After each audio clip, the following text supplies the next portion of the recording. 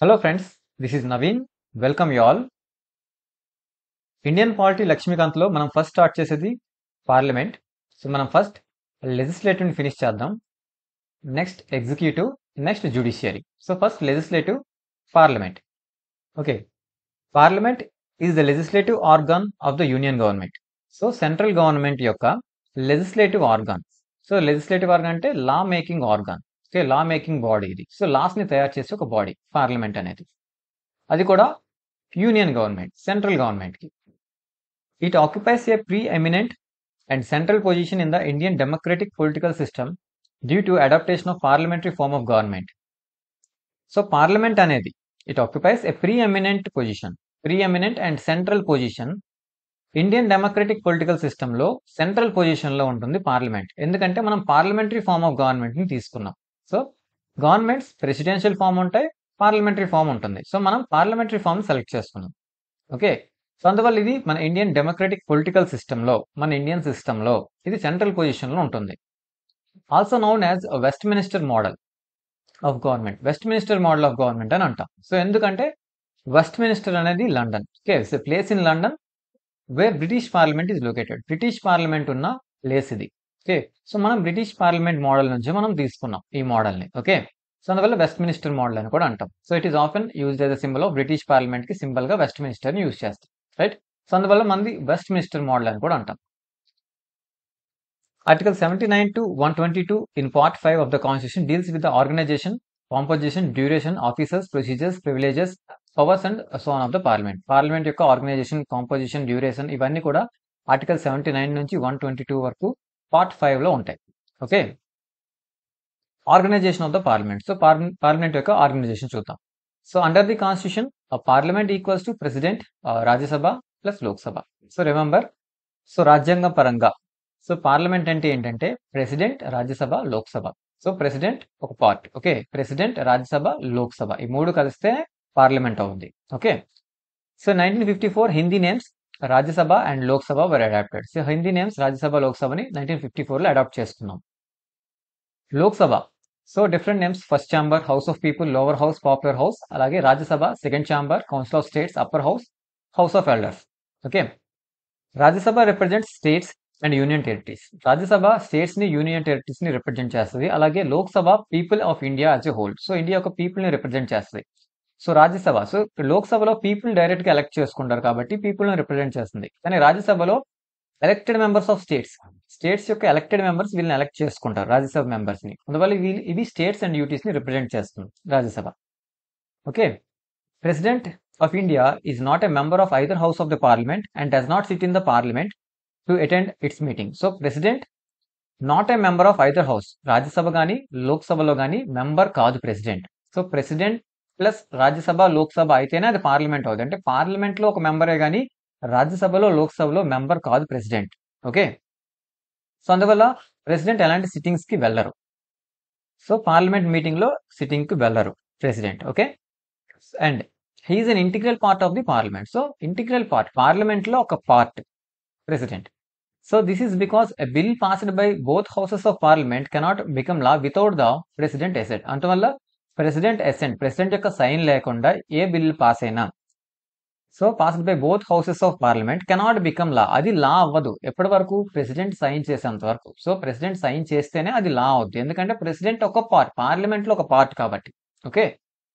He or she also perform certain functions relating to proceedings of the parliament so uh, అతను చాలా functions ఉంటాయి ప్రెసిడెంట్కి. So different functions ఉంటాయి. ఇవన్నీ చూద్దాం. And ఎగ్జాంపుల్గా here she summons prorogues both the houses dissolve Lok Sabha address both houses issues ordinances so when they not in session so ordinances issue చేస్తారు. ఇప్పుడు సెషన్లో లేనప్పుడు. ఈ సెషన్ ఏంటి? హౌసెస్ యొక్క ప్రోరోగ్ ఏంటి? సమాన్స్ ఏంటి? ఇవన్నీ కూడా చూద్దాం. నెక్స్ట్ చాప్టర్ అంతా ఇవే చూస్తాం. ఓకే ఇప్పుడు అవన్నీ చదవాల్సిన అవసరం లేదు. సో ప్రెసిడెంట్ ఇవన్నీ కూడా చేస్తారు. అవన్నీ ఏంటనేది మనం డీటెయిల్గా చూద్దాం. ఓకే సో మనం ఇక్కడ గుర్తుపెట్టుకోవాల్సింది president Rajya Sabha Lok Sabha కలిపితేనే parliament. President integral part of the parliament. So రాజ్యసభలో కానీ లోక్సభలో కానీ మెంబర్ కాదు. Okay? So in this respect the famous of Indian constitution relied on British pattern rather American pattern. So ఈ విషయంలో మనం బ్రిటిష్ ప్యాటర్న్ తీసుకున్నాం. అమెరికన్ ప్యాటర్న్ తీసుకోలేదు. Okay? So in Britain the parliament crown parliament equals to crown. King or queen plus House of Lords upper house and house of commons lower house. So పార్ Britain parliament parliament ఎవరు ఉంటారు king ఉంటారు House of Lords House of Commons so మనం ఈ మోడల్లో తీసుకున్నాం. So ఈ crown ప్లేస్లో కింగ్ ప్లేస్లో ప్రెసిడెంట్ ఉంటారు. సో ఇక్కడ upper house and lower house ఉన్నాయి right by contrast the American president is not an integral part of the legislature so లెజిస్లేచర్లో American president ఒక పార్ట్ కాదు ఓకే పార్లమెంట్ అనేది legislative body right so American president అనేది separate so లెజిస్లేచర్లో ఒక part కాదు integral part కాదు. కానీ Indian president integral part of the legislature right in USA the legislature which is known as Congress so లెజిస్లేచర్ని Congress అంటాం. And consist of senate ఉంటుంది upper house అలాగే House of Representatives lower house ఉంటుంది యుఎస్లో. And the parliamentary form of government emphasises on the interdependence between the legislative and executive organs so ఇది గుర్తుపెట్టుకోవాలి parliamentary form of గవర్నమెంట్లో legislative executive యొక్క interdependence అంటే రెండు fuse అయి ఉంటాయి. ఓకే ఇంటర్ డిపెండెన్స్ ఒకదాని మీద ఒకటి డిపెండ్ అయి ఉంటాయి రెండు ఫ్యూజ్ అయిపోయి ఉంటాయి పార్లమెంటరీ ఫామ్లో లో and hence we have president in parliament like crown in the parliament okay in Britain so crown లాగే ఇక్కడ మనకి ప్రెసిడెంట్ ఉన్నారు okay the presidential form of government on the other hand lay stress on the separation of legislative and executive organs so అదే presidential form of గవర్నమెంట్లో legislative and executive రెండు separate ఉంటాయి okay hence the American president not regarded as the regarded as the constituent part of the Congress కాంగ్రెస్లో ఒక part కాదు okay so అమెరికాలో కాంగ్రెస్లో upper house lower house ఉంటాయి. కానీ ఇక్కడ ప్రెసిడెంట్ లేరు. రైట్ కానీ ఇండియాలో పార్లమెంటరీ ఫామ్లో ఏంటుంటుంది president plus upper house plus Lok Sabha sorry upper house plus lower house so అదే ప్రెసిడెన్షియల్ ఫార్మ్ ఆఫ్ గవర్నమెంట్లో అలా ఉండదు. సో సపరేట్ కంప్లీట్గా సపరేట్ ఉంటారు. ఓకే లెజిస్లేటివ్ అండ్ ఎగ్జిక్యూటివ్ అనేది సపరేట్ అదే పార్లమెంటరీ ఫామ్లో లెజిస్లేటివ్ అండ్ ఎగ్జిక్యూటివ్ ఫ్యూజ్ ఇంటర్ డిపెండెన్స్లో ఉంటుంది. Okay next composition of the two houses. ఈ టూ హౌసెస్ యొక్క కాంపోజిషన్ చూద్దాం. Rajya Sabha and Lok Sabha. So maximum strength Rajya Sabha two fifty Lok Sabha five fifty so maximum ఎంతమంది ఉండాలి. Okay? And two thirty eight representatives of the states and UTs elected indirectly so రాజ్యసభలో indirect election two thirty eight members ఈ two ఫిఫ్టీలో two thirty eight members states and యూటీస్ని represent చేస్తారు. Twelve are nominated with president twelve members ఏమో president నుంచి nomination వస్తుంది. Okay అలాగే లోక్సభలో five thirty representatives of states and twenty members are the representatives of UTs so five thirty members ఈ five ఫిఫ్టీలో five thirty states నుంచి twenty members UTs నుంచి. And at present Rajya Sabha has two forty five members present చూసుకుంటే టూ ఫిఫ్టీ ఉండాలి కదా maximum present two forty five ఉన్నారు. And of these two twenty five members represent states two twenty five members states నుంచి eight members UTs నుంచి okay and twelve members nomination president nomination నుంచి okay and లోక్సభలో at present Lok Sabha five forty three ఉన్నారు five ఫిఫ్టీకి and of these five twenty four members represent states and nineteen members from UTs UTs నుంచి nineteen five twenty four ఏమో states నుంచి okay ఇక్కడ చూడండి fourth schedule so fourth schedule deals with allocation of seats in the Rajya Sabha to the seats states and union territories. Okay స్టేట్స్కి union టెరిటరీస్కి Rajya Sabha seats ఎలా ఇవ్వాలన్నది allocation అనేది fourth షెడ్యూల్లో ఉంటుంది. Okay so fourth schedule remember okay fourth షెడ్యూల్లో allocation of seats of Rajya Sabha ఉంటుంది. And next representation of states రాజ్యసభలో స్టేట్స్ రిప్రజెంటేషన్ ఎలా? Rajya Sabha members elected by the elected members of the state legislative assemblies so state legislative assemblies ఉంటాయి కదా అక్కడ elect అయిన members Rajya Sabha మెంబర్స్ని elect చేసుకుంటారు. Okay and election system ఎలా ఉంది? So system of proportional representation by means of single transferable vote so ఈ system ఏంటి? Proportional representation by means of single transferable vote so ఈ కాన్సెప్ట్స్ అన్ని మనం నేర్చుకుంటాం ఓకే సో ఎన్సీఆర్టీస్లో కూడా డీటెయిల్గా ఉంటాయి సో అక్కడ నేర్చుకుందాం. And Rajya Sabha seats are allot allotted to the states on the basis of population so Rajya Sabha seats allotted to states and basis of population base చేసుకొని seats allocation అనేది జరుగుతుంది. Hence the number of representatives varies from state to స్టేట్కి representatives different ఉంటుంది. ఎందుకంటే population ఒక్కో స్టేట్లో ఒక్కో population ఉంటుంది కాబట్టి పాపులేషన్ డిఫరెన్స్ అనేది ఉంది కాబట్టి సీట్స్ అలోకేషన్ డిఫరెన్స్ కూడా ఉంటుంది. ఎందుకంటే పాపులేషన్ బేస్ చేసుకునే అలోకేషన్ ఉంది కాబట్టి. ఫర్ ఎగ్జాంపుల్ యూపీలో థర్టీ వన్ మెంబర్స్ ఉంటే ట్రిపుల్ నుంచి వన్ మెంబరే రావచ్చు రైట్ సో అలాగే యుఎస్లో చూసుకుంటే all states are given equal representation in the senate irrespective of their population కానీ యుఎస్లో ఈక్వల్ రిప్రజెంటేషన్ ఉంటుంది. అంటే fifty states and senate and hundred members two from each so total hundred members వెళ్తారు. Fifty fifty states నుంచి. Okay ప్రతి state నుంచి two members వెళ్తారు. కానీ ఇండియాలో అలా లేదు. Okay so representation of states in Lok Sabha చూద్దాం. So Lok Sabha members elected directly by the people from territorial constituencies in the states so direct election ఉంటుంది. కానీ ఇక్కడ వీళ్ళకి indirect election okay legislative assembly members వీళ్ళని elect చేసుకుంటారు. డైరెక్ట్గా people elect చేసుకోరు. కానీ Lok Sabha members directly elected by the people from territorial constitution నియోజక నియోజకవర్గాల నుంచి డైరెక్ట్గా వీళ్ళని ఎలక్ట్ చేసుకోవడం జరుగుతుంది. So election based on principle of adult franchise universal adult franchise అంటే ఓట్ హక్కు ద్వారా. సో యూనివర్సల్ అడల్ట్ ఫ్రాంచైజ్ ద్వారా ఎలక్షన్ జరుగుతుంది. ఇక్కడ proportional representation by means of single transferable vote every Indian citizen who is above eighteen eligible to vote and such election so ప్రతి ఒక్కరు eighteen years దాటిన ప్రతి ఒక్కరు eligible so the voting age was reduce from twenty one to eighteen years by sixty first constitution amendment act nineteen eighty eight constitutional amendment amendment అంటే సవరించడం changes చేయడం. So రాజ్యాంగంలో changes చేయడం. ఎన్నోది? Sixty first so nineteen eighty ఎయిట్లో so ఇది important గుర్తుపెట్టుకోండి. Okay so sixty first constitution amendment twenty one years నుంచి eighteen years change చేయడం జరిగింది. Voting age okay and next representation of union territories representatives of UTs and in Rajya Sabha are indirectly elected by members of electoral college specially specially for the purpose so రాజ్యసభలో UTs. Indirect ఎలక్షనే ఉంటుంది. ఇక్కడ కూడా indirect ఎలక్షనే okay? అది కూడా states నుంచి అయితే elected members elect చేసుకుంటారు. కానీ ఇక్కడ అలా కాదు. సో ఒక ఎలక్టోరల్ కాలేజ్ కన్స్టిట్యూట్ చేస్తారు. ఓకే? ఆ మెంబర్స్ వీళ్ళని ఎలక్ట్ చేసుకుంటారు. Okay? Election so proportional representation by means of single transferable vote సిస్టమే okay?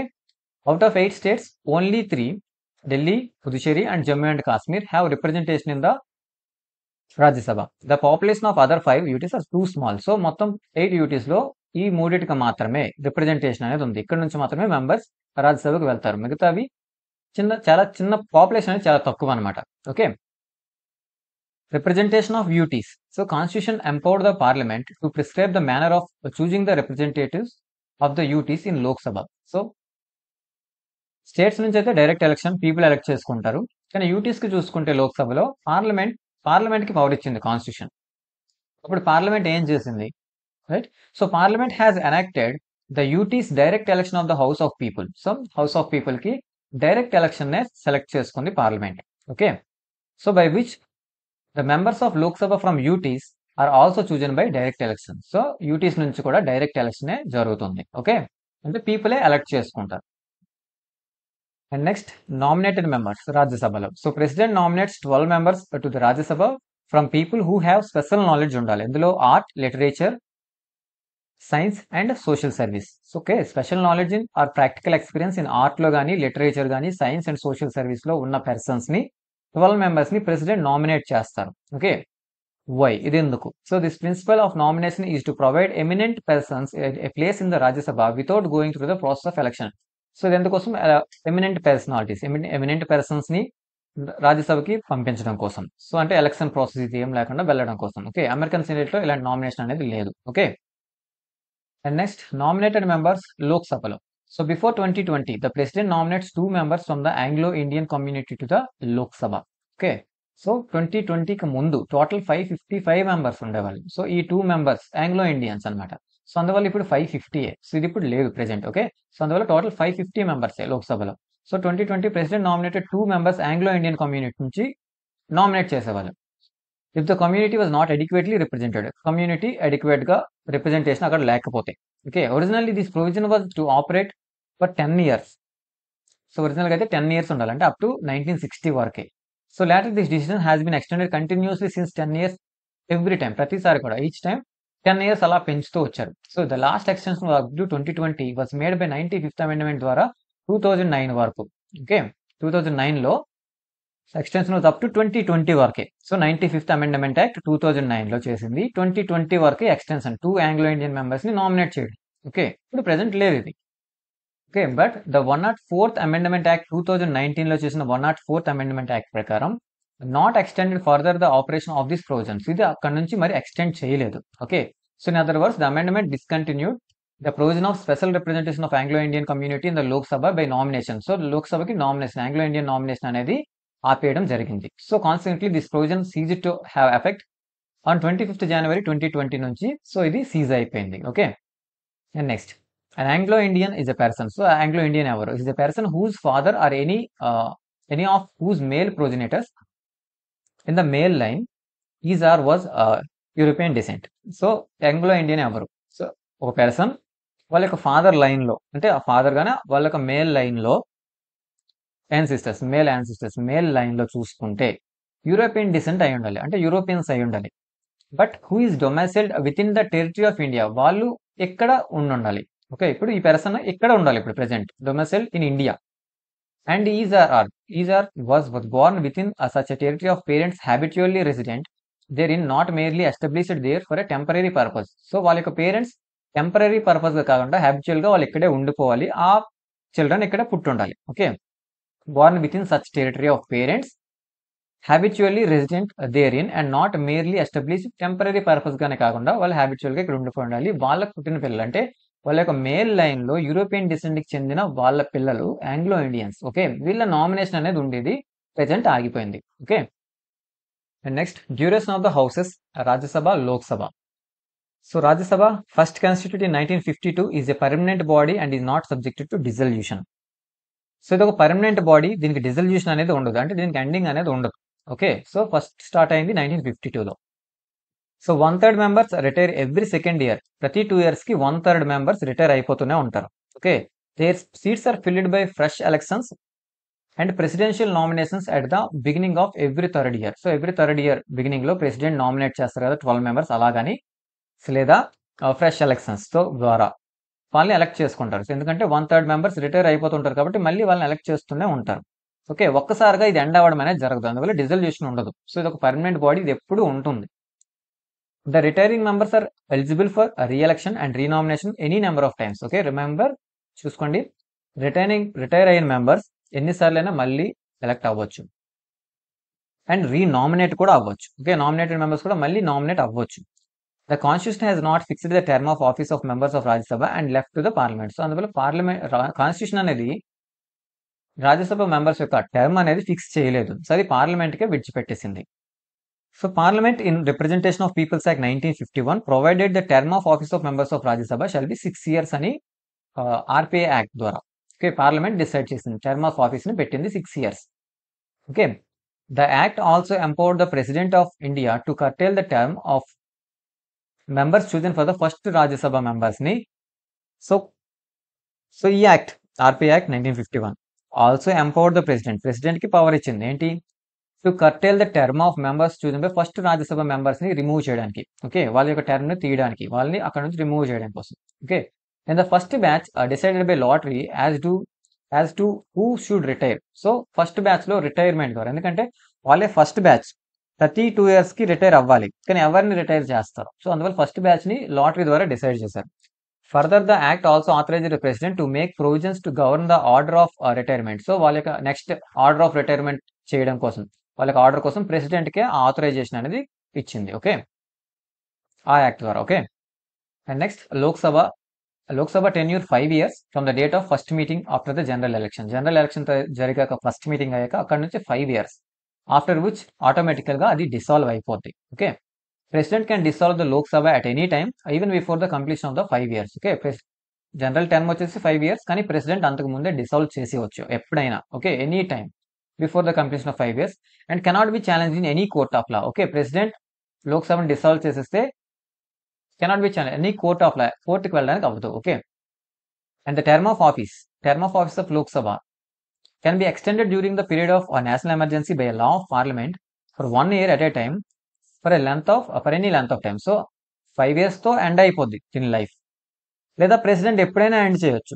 కానీ ఎక్స్టెండ్ కూడా చేయొచ్చు. అలా so extend during the period of national emergency టైంలో at a time one year పాటు దీని లైఫ్ని పెంచండి. ఫైవ్ ఇయర్స్ డైరెక్ట్గా సిక్స్ ఇయర్స్ చేసేయచ్చు.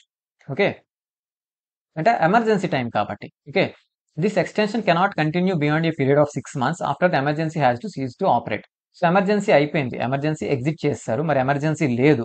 ఆ కండిషన్లో అక్కడి నుంచి ఒక సిక్స్ మంత్స్ మాత్రమే ఇది కంటిన్యూ అవుద్ది లోక్సభ. సో వెంటనే డిసాల్వ్ అనేది అయిపోద్ది. Okay and next system of elections of Lok Sabha. So Lok Sabha election system చూద్దాం. The various aspects related to the system of election to the Lok Sabha are as follows so territorial constituencies నియోజకవర్గాలుగా విడదీయడం. For the purpose of holding direct elections to the Lok Sabha so లోక్సభకి direct election కదా. So అందుకోసం each state is divided into territorial constituencies in this respect constitution make the following two provisions so ప్రతి state కూడా division చేయడం జరుగుతుంది కాన్స్టిట్యున్సీస్గా. నియోజకవర్గాలుగా విడదీయడం జరుగుతుంది. So దానికి two provisions constitution చేసింది. ఏంటి? Each state is elected a number of seats in the Lok Sabha so ప్రతి state కూడా కొన్ని సీట్స్ వస్తాయి లోక్సభలో అవి ఎలా? In such a manner that the ratio between the number of seats in Lok Sabha so ratio between seats లోక్సభలో seats అలాగే and its population అలాగే పాపులేషన్ ఈ సేమ్ ఫర్ ఆల్ స్టేట్స్ అన్ని స్టేట్స్ కూడా ఈక్వల్గా ఉండాలి. Okay this provision does not apply to the state having population less than six million కంటే తక్కువ ఉంటే ఈ ప్రొవిజన్ అప్లై అవ్వదు. అంటే ఇక్కడ నియోజకవర్గాలుగా విడదీసాం ఎలక్షన్ కోసం.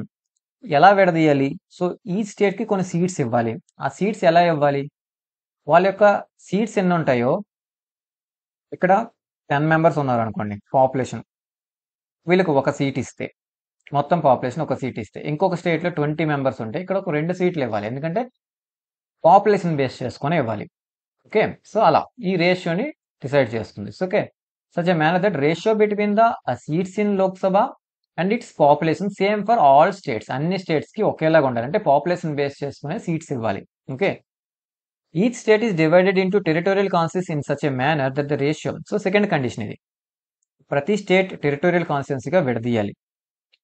ఎలా అంటే ratio between the population of of each constituency and the number of seats allotted to the same throughout the state ఒక స్టేట్ ఉంది కదా స్టేట్ మొత్తాన్ని విడదీసాం కాన్స్టిట్యున్సీగా ఓకే టెరిటోరియల్ కాన్స్టిట్యూన్సీగా విడదీయాలి స్టేట్ని ఎలా అంటే ratio between population of each constituency ప్రతి దగ్గర ఉన్న population okay and the number of seats allotted to it is same throughout the state దానికి ఇక్కడ వీళ్ళకి ఎన్ని సీట్స్ ఇచ్చాం? ఇక్కడ వీళ్ళకి ఎన్ని సీట్స్ ఇచ్చాం అనేది స్టే ఆ స్టేట్ మొత్తం ఈక్వల్ అయి ఉండాలి. ఓకే ఇక్కడ ఇక్కడ ఎంతమంది పాపులేషన్కి మనం ఎన్ని సీట్స్ ఇచ్చాం? ఓకే పది మందికి ఒకటి ఇచ్చుంటే సో అన్ని దగ్గరలో కూడా అలాగే ఇవ్వాలి. అలాగే అది మొత్తం స్టేట్ మొత్తం ఈక్వల్ గానే రిప్రజెంటేషన్ అనేది ఉండాలి. ఓకే సో ఈ రెండు ప్రొవిజన్స్ ఎందుకోసం అంటే అన్ఈక్వల్ ఉండకూడదు. సో లోక్సభకు వెళ్ళే మెంబర్స్ పెద్ద స్టేట్ ఉంది ఒక చిన్న స్టేట్ ఉంది. ఈ పెద్ద స్టేట్ నుంచి పది మంది వెళ్తే ఈ చిన్న స్టేట్ నుంచి కూడా పది మందే వెళ్ళారు అనుకోండి ఈక్వల్గా వెళ్ళారు అనుకోండి సో ఇక్కడ రిప్రజెంటేషన్ ఎవరికి ఎక్కువ ఉంది? చిన్న స్టేట్ వాళ్ళకి ఎక్కువ రిప్రజెంటేషన్ ఉంది. అంటే ఇక్కడ మెంబర్స్లో ఎక్కువ వీళ్ళు ఉన్నారు కాబట్టి ఈ స్టేట్కి ఎక్కువ బెనిఫిట్స్ వస్తాయి. రైట్ కానీ ఇక్కడ చాలా పెద్ద ఏరియాని కవర్ చేస్తుంది. ఎక్కువ పాపులేషన్ ఉన్న స్టేట్ సో వీళ్ళు టెన్ మెంబర్సే వీళ్ళు టెన్ మెంబర్స్ ఉన్నప్పుడు బెనిఫిట్ వీళ్ళకి ఎక్కువ అయిపోద్ది సో అందువల్ల ఎప్పుడు ఈక్వల్ రిప్రజెంటేషన్ ఉండాలి. సో అందుకోసమే ఈ two provisions okay so in brief the constitution ensures that there is uniformity of the representation of two రెస్పెక్ట్స్లో uniformity ఉండడం కోసమే ఈ two provisions between the different states మధ్యన అలాగే between different constituencies in the same state ఒకే స్టేట్లో ఉన్న constituencies మధ్యన అలాగే different states మధ్య కూడా యూనిఫార్మిటీ ఉండడం కోసం. సో అలాగే ఇక్కడ చూడండి. The expression population means the population ascertained at the preceding census of which the relevant figures have been published so ఇక్కడ పాపులేషన్ అనే term వాడాం right population of each state చూడండి పాపులేషన్ సో ఈ population అంటే ఏంటంటే ఏ figures తీసుకోవాలి? ఈ population figures ఎప్పుడు తీసుకుంటే దాని ముందు జరిగిన సెన్సస్ని బేస్ చేసుకొని పాపులేషన్ తీసుకోవాలి. Okay next readjustment after each census ప్రతి సెన్సస్ పాపులేషన్ ఎలా తీసుకోవాలి? సెన్సస్ని బేస్ చేసుకొని. సో అందువల్ల ప్రతి సెన్సస్ జరిగిన తర్వాత రీఅడ్జస్ట్మెంట్ జరగాలి కదా. సో ఆ ప్రాసెస్ చూద్దాం. After every census readjustment is to be made allocation of seats in the Lok Sabha to the states and division of each state into territorial constituencies. So Lok Sabha seats కోసం అలాగే territorial కాన్స్టిట్యున్సీస్గా విడదీయడం కోసం census తర్వాత readjustments అనేది జరగాలి so Parliament is empower to determine the authority and the manner in which is to made so అది ఎలా జరగాలి? అది ఎవరు చేయాలి? ఆ అథారిటీ ఎవరు? అనేది పార్లమెంట్కి ఆ పవర్ డిసైడ్ చేసే పవర్ ఇచ్చింది. సో ఆ అథారిటీ ఎవరు? డీలిమిటేషన్ కమిషన్ ఓకే డీలిమిటేషన్ కమిషనే ఆ authority So accordingly, Parliament has enacted Delimitation Commissions Act 1952, 62, 72 and two thousand two ఇప్పటి వరకు ఈ ఫోర్ డీలిమిటేషన్ కమిటీస్ కమిషన్స్ వచ్చాయి ఓకే సో పార్లమెంట్ ఎనాక్ట్ చేసింది సో వీళ్ళు డిసైడ్ చేస్తారు ఈ అడ్జస్ట్మెంట్స్ ఎలా జరగాలి ఇదంతా కూడా okay delimitation commission The 42nd Amendment Act 1976 affords all the allocation of seats in Lok Sabha to the states and the division of each state into territorial consists till 2000 uh, till the year 2000 at the level of 17 1971 level. So nineteen seventy one census ప్రకారంగానే చూడండి. So forty second amendment act nineteen seventy six nineteen seventy సిక్స్లో forty second amendment act చేశారు. So ఇది ఏం చేసిందంటే froze all the allocation Lok Sabha seats allocation జరగాలి కదా state state constituencies మొత్తం కూడా. ఇదంతా కూడా ఫ్రోజన్ చేశారు ఫ్రీజ్ చేశారు. ఏ లెవెల్ సెన్సెస్ ప్రకారం అంటే నైన్టీన్ సెవెంటీ వన్ సెన్సెస్ ప్రకారం. ఎప్పటి వరకు? టూ థౌజండ్ వరకు. ఇయర్ టూ థౌజండ్ వచ్చేంత వరకు nineteen seventy one census base చేసుకునే ఈ సీట్స్ ఎలోకేషన్ జరగాలని ఫ్రీజింగ్ చేశారు. సో అమెండ్మెంట్ ద్వారా. అలాగే this ban on readjustment was extend for ఇంకో ట్వంటీ ఫైవ్ ఇయర్స్ ఎక్స్టెండ్ చేశారు. అంటే ట్వంటీ ట్వంటీ సిక్స్ వరకు ఇది కంటిన్యూ అవుతుంది. అంటే నైన్టీన్ సెవెంటీ వన్ లెక్కల ప్రకారం సెన్సస్ ప్రకారంగా ఉండాలని. బై ద ఎప్పుడు by eighty fourth amendment act two thousand వన్లో so nineteen seventy six forty second amendment ద్వారా టూ థౌజండ్ వరకు నైన్టీన్ సెవెంటీ వన్ సెన్ససే ఫాలో అయ్యి రీఅడ్జస్ట్మెంట్ జరిగింది. కానీ eighty fourth amendment two thousand వన్లో ఇది ఇంకో ట్వంటీ ఫైవ్ ఇయర్స్ ఎక్స్టెండ్ చేశారు. And with the same objective of encouraging population limiting measures ఇది ఎలా ఎందుకంటే ఇదంతా చేయడం ఈ డీలిమిటేషన్స్ అని పాపులేషన్ కంట్రోల్ చేయడం కోసం. Okay and the eighty fourth amendment act two thousand one also empowered the government to undertake readjustment and realization rationalization of territories territorial constituencies in the states on the base of population figures of nineteen ninety one so ఇక్కడ చూడండి. ఇది twenty twenty six అంటే twenty five years extend చేశారు eighty fourth amendment ద్వారా. అలాగే ఈ amendment ద్వారా ఇంకోటి కూడా చేశారు. ఏంటి? ఇక్కడ nineteen seventy one population basis కదా ఫ్రీజ్ చేశారు కానీ దాన్ని నైన్టీన్ నైన్టీ వన్ బేసిస్కి మార్చారు. Okay? And later ninety seventh amendment act two thousand three. Okay? Next eighty four తర్వాత eighty seven. Okay? Eighty seventh amendment act two thousand త్రీలో. ఇది two thousand వన్లో జరిగింది. ఇది next eighty seven two thousand త్రీలో. So provided for the delimitation of constituencies on the basis of two thousand one census and not on nineteen ninety one so ఈ amendment ప్రకారం nineteen ninety one so first nineteen seventy one తర్వాత nineteen ninety వన్లోంచి follow అవ్వాలని ఆ తర్వాత ఏంటి? Two thousand one census base చేసుకొని ఉండాలని. Okay however this can be done without altering the number of seats allotted to ఈ state in the Lok Sabha so Lok Sabha సీట్స్లో ఎలాంటి ఆల్టరేషన్ చేయకుండా two thousand one census base చేసుకొని ఈ amendment ద్వారా డీలిమ్ delimitation of కమి constitutions on the base of two thousand one census so nineteen ninety one కాకుండా two thousand one సెన్సెస్ని base చేసుకొని జరిగింది. Okay కానీ ఏం చేశారు? Without altering the number of seats allocation seats allocation జరగలేదు. కేవలం ఇంటర్నల్ అడ్జస్ట్మెంట్స్ స్టేట్స్లో ఇంటర్నల్ అడ్జస్ట్మెంట్స్ మాత్రమే చేశారు. Okay and next reservation of seats for ఎస్సీస్ and STs schedule caste and schedule ట్రైబ్స్కి reservation సీట్స్లో రిజర్వేషన్ ఎలా ఉంటుంది? Though the constitution has abandoned the system of communal representation, it provided for the reservation of seats for scheduled castes and scheduled tribes in the Lok Sabha on the basis of population ratios. So మన constitution ప్రకారం communal representation అనేది abandon చేస్తాం communal representation అంటే Hindus Muslims ఇలా separate separate representation ఉండకూడదు right కానీ constitution ఏం provide చేసింది అంటే schedule tribes and scheduled caste కి రిజర్వేషన్ అనేది ప్రొవైడ్ చేసింది లోక్సభలో సో కూడా పాపులేషన్ బేసిస్ మీదే okay Originally this reservation was to operate for ten years up to nineteen sixty వరకు ఆపరేట్ అవ్వాలి. కానీ ఇది ఎక్స్టెండ్ చేశారు. But extended continuously since then by ten years each time now under one not fourth amendment act two thousand nineteen this reservation is to last nineteen thirty వరకు ఉండాలని extend చేయడం జరిగింది. One not fourth amendment act ద్వారా. So ఇక్కడ Anglo ఇండియన్స్ని ఆపేశారు. Nomination అనేది ఆపడం జరిగింది. కానీ schedule caste and schedule tribes reservation అనేది మళ్ళీ ట్వంటీ థర్టీ వరకు ఇంకో టెన్ ఇయర్స్ ఎక్స్టెండ్ చేయడం జరిగింది. ఇదే అమెండ్మెంట్ ద్వారా.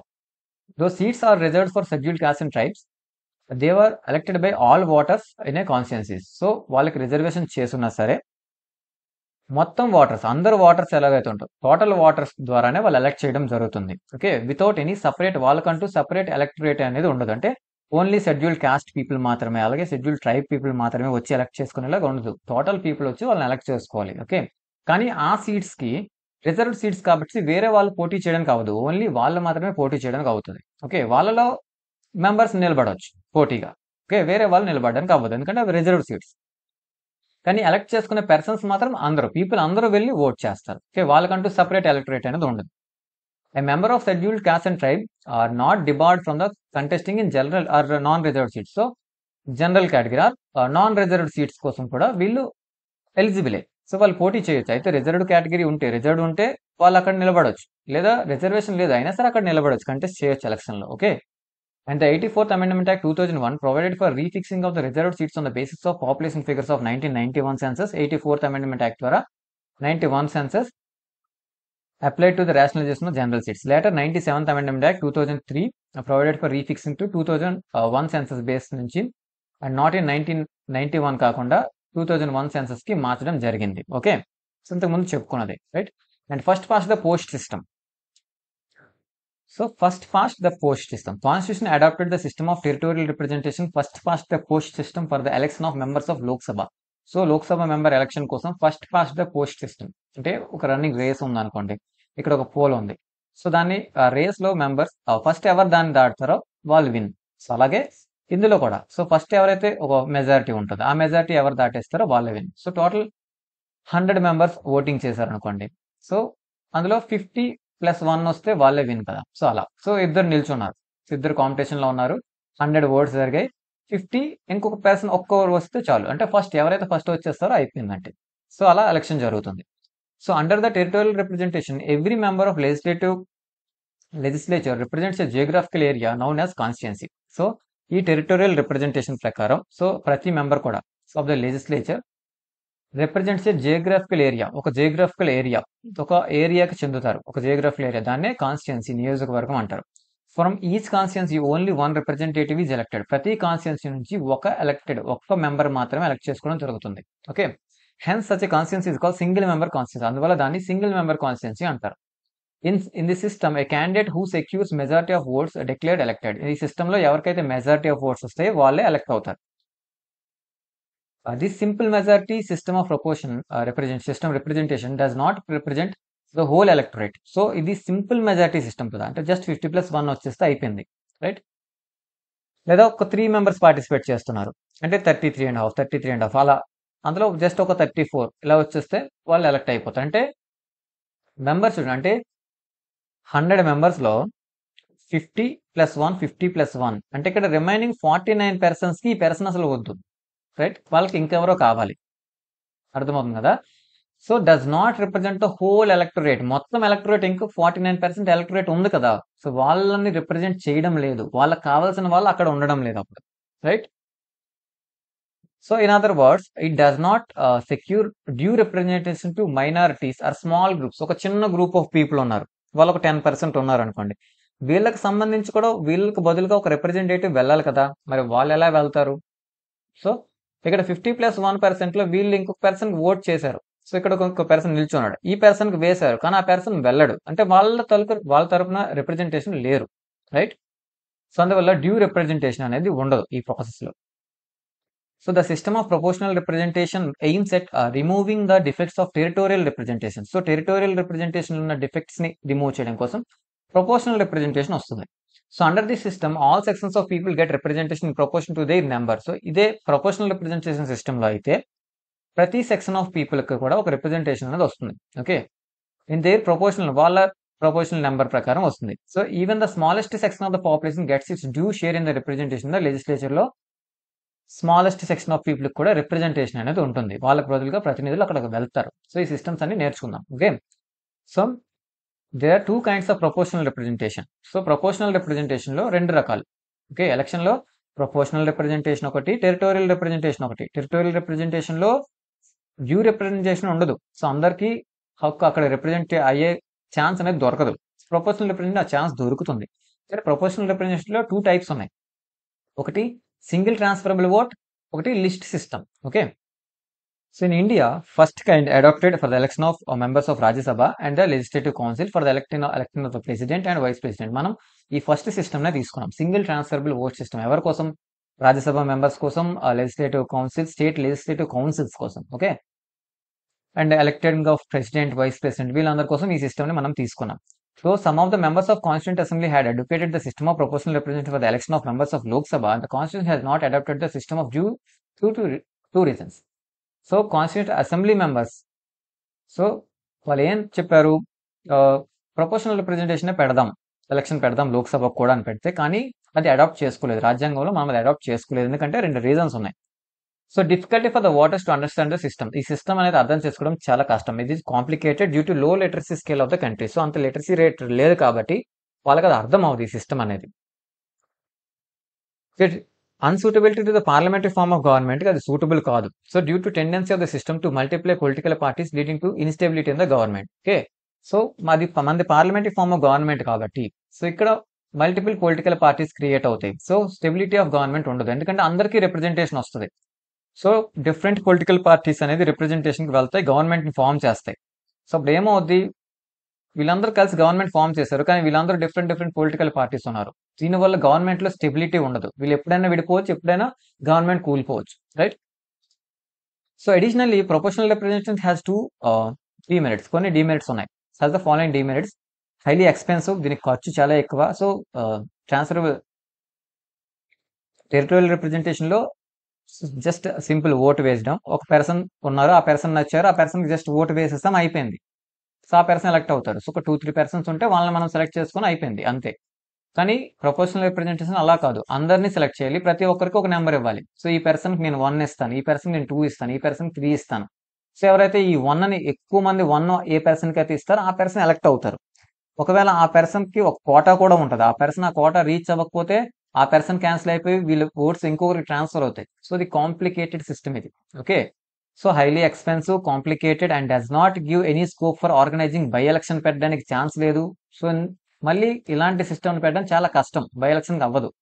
So eliminates initiate contacts between voters and representatives so intimate contact between వాటర్కి రిప్రజెంటేటివ్స్కి మధ్యన కాంటాక్ట్ కూడా తగ్గించేస్తుంది. And promotes minority thinking and group interest so minority ప్రతి ఒక్క మైనారిటీ పర్సన్ అంటే చిన్న చిన్న గ్రూప్ కూడా రిప్రజెంటేషన్ వస్తుంది కాబట్టి వాళ్ళ యొక్క వాళ్ళని ప్రమోట్ చేస్తుంది. వాళ్ళ ఇంట్రెస్ట్ని ప్రమోట్ చేస్తుంది.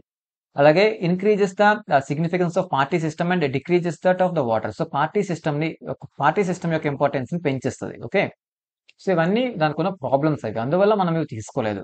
ఓకే సో మనం అందువల్ల మనం ప్రపోర్షనల్ రిప్రజెంటేషన్ కొన్ని ఫార్మ్స్లో మాత్రమే తీసుకున్నాం. సో లైక్ రాజ్యసభ ఎలక్షన్ కానీ ప్రెసిడెంట్ కానీ వైస్ ప్రెసిడెంట్ కానీ okay next membership of parliament so parliament membership చూద్దాం. క్వాలిఫికేషన్స్ చూద్దాం first constitution lays down the following qualifications so రాజ్యాంగంలో కొన్ని క్వాలిఫికేషన్స్ ఉన్నాయి. So citizen of India must be a citizen and Rajya Sabha not less than thirty years thirty years కంటే తక్కువ ఉండకూడదు. Okay twenty nine point eleven years కూడా అవ్వకూడదు. Okay? Thirty years plus one day అయినా అయి ఉండాలి. Okay? ఇలా ఉండాలి కండిషన్. ఓకే? సో దీనికంటే ముందు ఉండకూడదు. Okay? Not less than thirty years. లోక్సభకి అయితే not less than twenty five years. Okay? He must make and subscribe oath and affirmation before the person authorised by election commission. So ఖచ్చితంగా oath promise చేయాలి. Election commission ద్వారా ఒక person appoint అవుతారు. అలా వాళ్ళ దగ్గర oath and affirmation ఇవ్వాలి. ఖచ్చితంగా. Okay?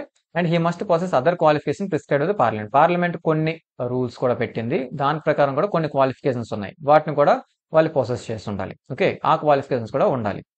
సో పార్లమెంట్ పెట్టిన రూల్స్ చూద్దాం. So parliament has laid down the following additional qualifications ఎలాంటి qualifications in the representation of people act nineteen fifty వన్లో కొన్ని అడిషనల్ క్వాలిఫికేషన్స్ ఇచ్చింది వీళ్ళకి. ఏంటి ఆ క్వాలిఫికేషన్స్ ఉండాలి? Must be registered as an elector for a parliamentary constituency this is same in case of the both Rajya Sabha and Lok Sabha ఒక register elector అయి ఉండాలి.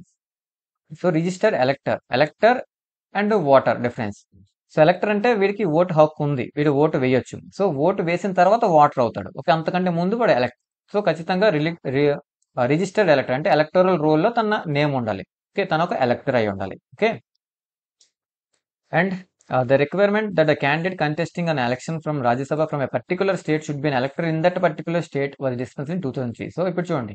సో అతను ఎలక్టర్ అయి ఉండాలి. ఎనీ పార్లమెంటరీ కాన్స్టిట్యున్సీ ఎక్కడైనా అయి ఉండొచ్చు. ఏ స్టేట్లోనే ఎక్కడైనా ఉండొచ్చు. సో బోత్ రాజ్యసభకి లోక్సభకి ఎక్కడైనా అయ్యుండొచ్చు తను ఒక ఎలక్టర్ అయి ఉండాలి. కానీ టూ థౌజండ్ త్రీకి ముందు సో రాజ్యసభకి ఎలక్ట్ అవ్వాలంటే పర్టికులర్గా వారు ఏ స్టేట్ నుంచి అయితే రాజ్యసభకి ఎలక్ట్ అవ్వాలంటో ఆ పర్టికులర్ స్టేట్లోనే తను ఒక ఎలక్టర్ అయి ఉండాలి. సో తన ఎలక్టోరల్ రోల్లో ఆ స్టేట్లోనే తన పేరు ఉండాలి రైట్? కానీ అది టూ థౌజండ్ త్రీ నుంచి లేదు. ఇప్పుడు ప్రతి స్టేట్కి ఏ స్టేట్ నుంచి అయినా సరే ఉండొచ్చు. Since two thousand three the Supreme Court upheld the constitution validity of this change so దీనికి కాన్స్టిట్యూషన్ వ్యాలిడిటీ అప్హెల్డ్ చేసింది ఇచ్చింది. సో అందువల్ల అప్పటి నుంచి సో టూ థౌజండ్ త్రీ నుంచి ఏంటి రాజ్యసభ మెంబర్ అవ్వాలన్నా సరే ఎక్కడైనా సరే ఎలక్టర్ అయితే సరిపోద్ది. పర్టికులర్గా ఆ స్టేట్లోనే ఉండాల్సిన అవసరం అయితే లేదు. ఓకే అండ్ ఇంకో condition second condition so he must be a member of schedule caste or tribe in any state any state okay or any union territory if he wants to contest a seat uh, reserved for them. So, any state or union territory, uh, he wants to contest a seat reserved for them. So, wall reservation సీట్స్కి so must be member of schedule caste or tribe ఖచ్చితంగా అయి ఉండాలి. Okay of any state or union territory he wants to contest seat reserve from the reservation of seats ఉన్నాయి కదా. ఎస్సీస్ and scheme వాళ్ళు ఆ సీట్స్కి participate చేయాలనుకుంటే ఎలక్షన్లో so వాళ్ళు ఏదైనా స్టేట్లో ఖచ్చితంగా షెడ్యూల్ కాస్ట్ ట్రైబ్ మెంబరే అయి ఉండాలి however a member of schedule caste and tribe can contest a seat not reserve for them వాళ్ళకి రిజర్వేషన్ లేకపోయినా సరే వాళ్ళు కంటెస్ట్ చేయొచ్చు. సో నాన్ రిజర్వ్డ్ సీట్ కూడా కంటెస్ట్ చేయొచ్చు. కానీ రిజర్వ్డ్ సీట్కి వాళ్ళు కంటెస్ట్ చేయాలంటే వాళ్ళు ఖచ్చితంగా ఆ ఎస్సీఆర్ ఎస్టీ మెంబర్ అయి ఉండాలి ఓకే రెండు కండిషన్స్ ఆర్పీ యాక్ట్ ద్వారా ఏంటి?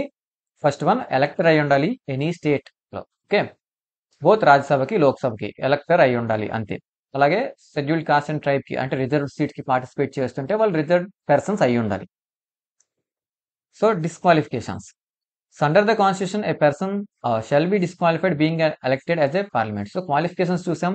Citizen of India thirty years twenty five years అలాగే ఓత్ వేయాలి. అలాగే కొన్ని పార్లమెంట్ కొన్ని రూల్స్ ఇచ్చింది. రెండు రూల్స్ ఏంటి రూల్స్ సో ఒక ఎలక్టర్ అయి ఉండాలి. అలాగే రిజర్వ్డ్ సీట్ మెంబర్కి అయితే రిజర్వ్డ్ మెంబర్ అయి ఉండాలి. ఇవి క్వాలిఫికేషన్స్ అయితే డిస్క్వాలిఫికేషన్స్ కూడా ఉన్నాయి. సో కాన్స్టిట్యూషన్ చెప్పిన డిస్క్వాలిఫికేషన్స్ ఏంటి? If you holds any office of profit under the union or state government except that minister or any other state exempted by the parliament okay so office of profit ఉండకూడదు. So అంటే under union of state union government కానీ state government కింద కానీ అతను work చేసే person అయ్యి ఉండకూడదు. అంటే అవి ఆఫీస్ ఆఫ్ ప్రాఫిట్ కిందకి రాకూడదు. ఓకే ఆఫీస్ ఆఫ్ ప్రాఫిట్ కిందకి రాకూడదు. సో ఇక్కడ చూడండి ఎక్సెప్షన్స్ కూడా ఉన్నాయి. Except that a minister or any other office exempted by the parliament ఒక మినిస్టర్ అయి ఉంటే అది ఆఫీస్ ఆఫ్ ప్రాఫిట్ అవ్వదు. సో ఆఫీస్ ఆఫ్ ప్రాఫిట్ అవ్వదు కాబట్టి వీళ్ళు రాజ్యసభ కానీ లోక్సభ కానీ ఎలక్ట్ అవ్వచ్చు. సో అలాగే మినిస్టర్స్ కాకుండా పార్లమెంట్కి పార్లమెంట్ ఎగ్జామ్ చేయొచ్చు. కొన్ని కొన్ని ఆఫీసెస్ని పార్లమెంట్ ఎగ్జామ్షన్ చేయొచ్చు. సో ఇది ఆఫీస్ ఆఫ్ ప్రాఫిట్ కిందకి రాదు.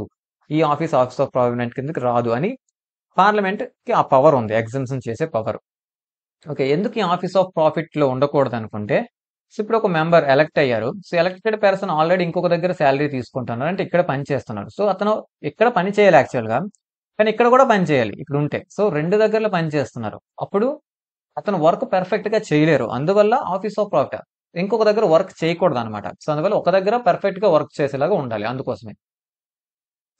Okay and if he's of unsound mind and stand so declared by the court so ఆ అన్సౌండ్ మైండ్ అంటే మెంటల్ డిసబిలిటీ అంట. ఓకే? అది కూడా కోర్టే డిక్లేర్ చేయాలి. సో అతను అన్సౌండ్ మైండ్ ఉంది. ఓకే? అతను ఎలిజిబుల్ కాదని కోర్టు డిక్లేర్ చేయాల్సి ఉంటుంది ఈ కండిషన్ మాత్రం. Okay? And if he's un undischarged insolvent so bank అప్పు తీర్చకపోయినా సో ఒక ఇన్సాల్వెంట్ అనమాట అప్పు చేసి అప్పు తీర్చకపోయిన పెర్సన్ అయినా. And if is not citizen of India ఖచ్చితంగా ఇండియన్ సిటిజన్ అవ్వాలి కదా. సో అందువల్ల ఇండియన్ సిటిజన్ కాకపోయినా లేదా voluntarily acquire the citizenship of foreign state or is under the acknowledgement of allegiance to the foreign states వేరే స్టేట్కి ఉన్నా లేదా వాలంటీర్గా ఇంకొక కంట్రీ ఇంకో కంట్రీతో తన ఎలిజెన్స్లో ఉన్నా లేదా వాళ్ళ సిటిజన్షిప్ తీసుకున్నా సో ఆ కంట్రీతో కలిసిపోయినా సరే తనకి ఎలిజిబిలిటీ డిస్క్వాలిఫికేషన్ అయిపోతారు okay if he so disqualified under any law made by the parliament ఇంతే కాకుండా ఇంకో కండిషన్ ఉంది. సో క్వాలిఫికేషన్స్ అన్నప్పుడు సిటిజన్ అవ్వాలి thirty years twenty five years అవ్వాలి. అలాగే పార్లమెంట్ కొన్ని క్వాలిఫికేషన్స్ పెట్టింది. అలాగే డిస్క్వాలిఫికేషన్స్ కూడా కాన్స్టిట్యూషన్ కొన్ని డిస్క్వాలిఫికేషన్స్ పెట్టింది. అలాగే పార్లమెంట్గా పార్లమెంట్ ఏవైనా డిస్క్వాలిఫికేషన్ చేస్తే అవి కూడా ఉండొచ్చు అని చెప్పింది.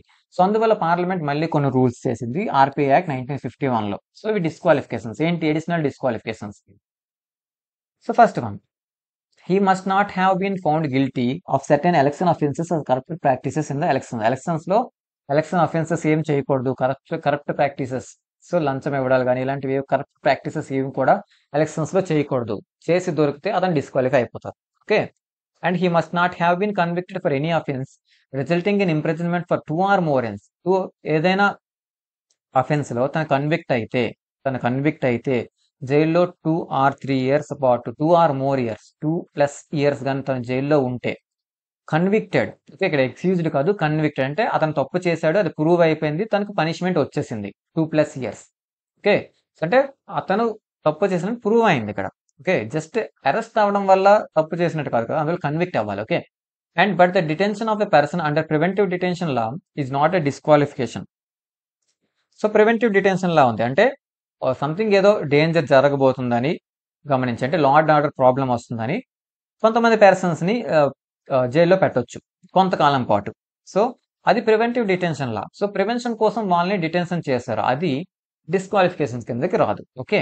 So only person two or more years convict అయ్యండి. ఏదైనా ఒక అఫెన్స్లో కన్విక్ట్ అయ్యి ఉండి టూ ప్లస్ ఇయర్స్ జైల్లో ఉంటేనే అదొక disqualification and he must not have fail to lodge account of election expenses within the time so ఎలక్షన్లో తను ఎంత ఖర్చు పెట్టాడు అనేది ఎలక్షన్ కమిషన్కి విత్ ఇన్ టైంలో తను అకౌంట్ చూపించాలి. సో ఇంత ఖర్చు పెట్టాను ఇదంతా జరిగిందని. అది చూపించలేకపోయినా సరే వాళ్ళు డిస్క్వాలిఫై అయిపోతారు.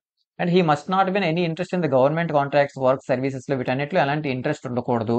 అలాగే he must not be director or managing agent nor hold office of profit in a corporation in which the government has at least twenty five percent share.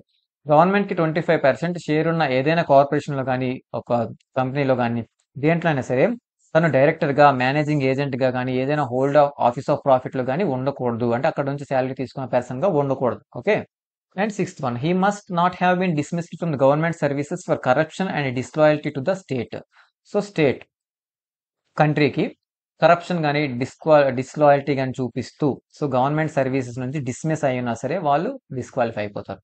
And he must not have been convicted for promoting enmity between different groups office of bribery or office offence of bribery so అతను convict అవ్వకూడదు. So ఏ కండిషన్స్లో offence of bribery లంచం తీసుకున్నట్టు కానీ and different groups మధ్యన enmity ఒక different different groups మధ్యన గొడవ పెట్టి ఎనిమిటీకి కారణం అలాంటి అఫెన్సెస్లో తను కన్విక్ట్ అవ్వకూడదు అనమాట సో అప్పుడు కూడా డిస్క్వాలిఫై అయిపోతారు.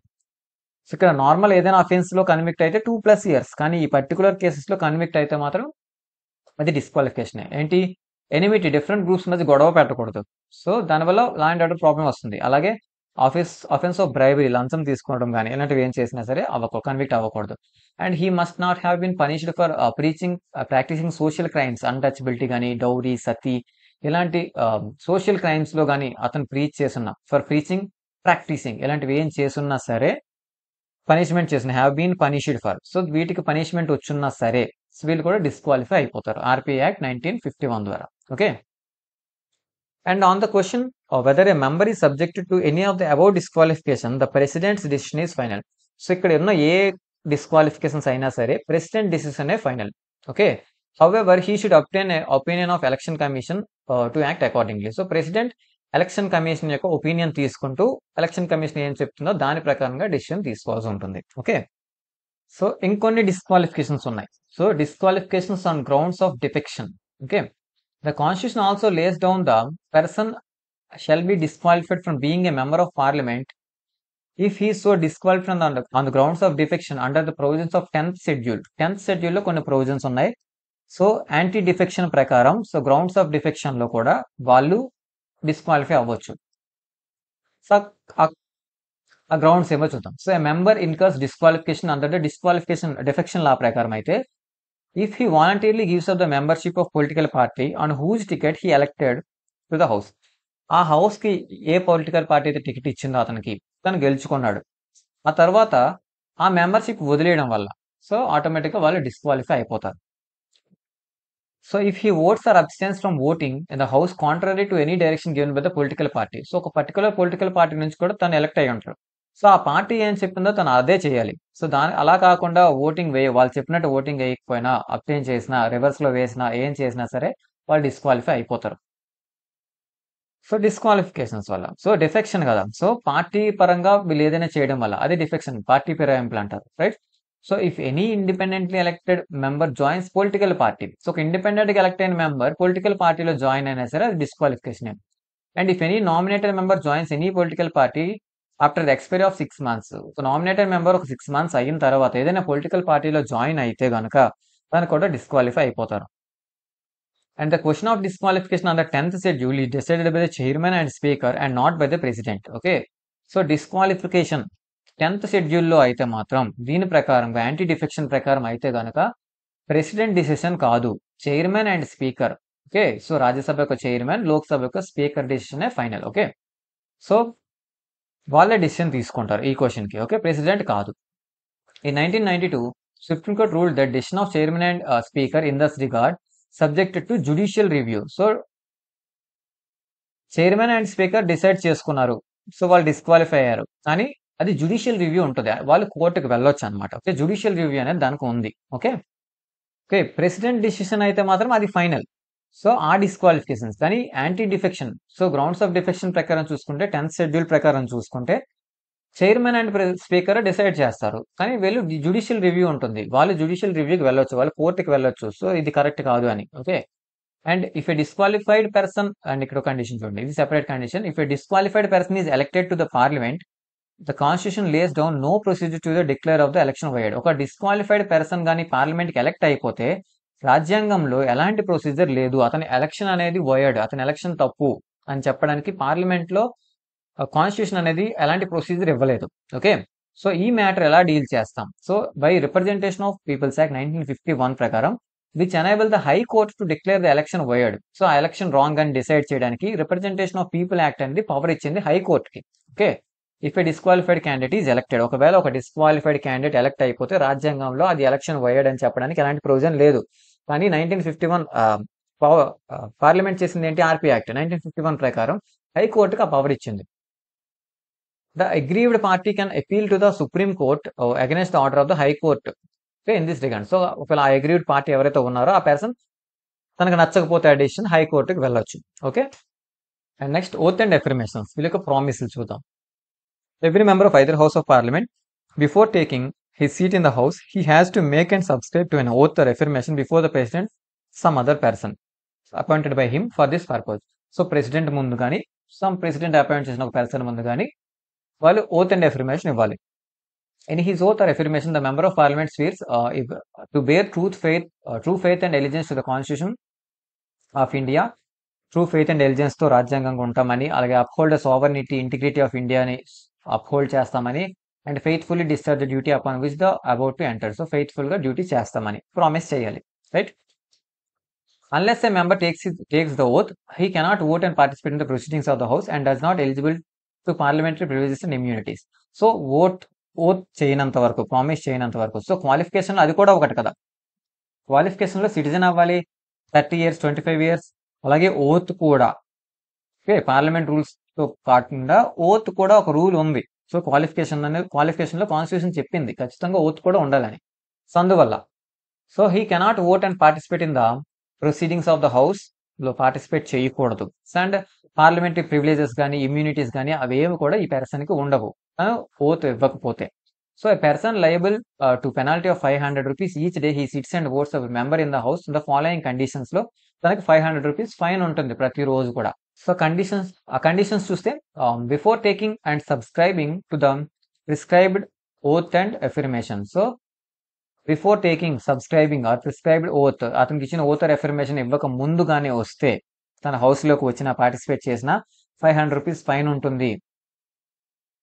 When he knows that he is not qualified that or that he is disqualified for its membership అతను డిస్క్వాలిఫై ఉన్నా తను తను క్వాలిఫై కాదు అని తెలుసున్నా సరే అతను మెంబర్గా వచ్చి ఓటింగ్ చేసిన లేదంటే పార్టిసిపేట్ చేసినా సరే తనకి ఫైవ్ హండ్రెడ్ రూపీస్ ఫైన్ ఉంటుంది. And when he knows that he is prohibited from sitting and voting in the house by virtue of any parliamentary law ప్రకారం. పార్లమెంటరీ లా ప్రకారం అతన్ని ప్రొహిబిట్ చేసి ఉంటే అతను ఆపుండడం. పార్లమెంటరీ రా ప్రకారం అతను సిట్టింగ్కి ఓటింగ్కి పర్మిషన్ లేదనమాట ప్రొహిబిట్ చేసి ఉన్నారు అలాగైనా సరే వచ్చినా సరే పెనాల్టీ అనేది ఉంటుంది. ఓకే?